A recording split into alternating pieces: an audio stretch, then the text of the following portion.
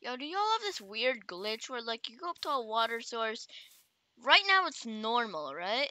And then when you walk up to it, it just freezes, man. It's so weird. Bro, I have Frostwalker. Holy crap, I'm like the dumbest person alive.